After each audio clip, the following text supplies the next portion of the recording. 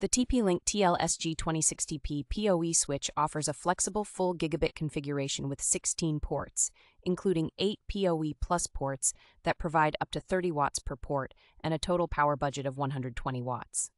It supports the Omada SDN platform, which integrates network devices such as switches, access points, and gateways, providing multiple control options for ease of network management. Remote cloud access and the Omada app enable centralized cloud management, allowing users to control the network from a single interface no matter where they are. For those using the SDN platform, it is important to ensure that devices and controllers are either equipped with or upgraded to the SDN version for compatibility.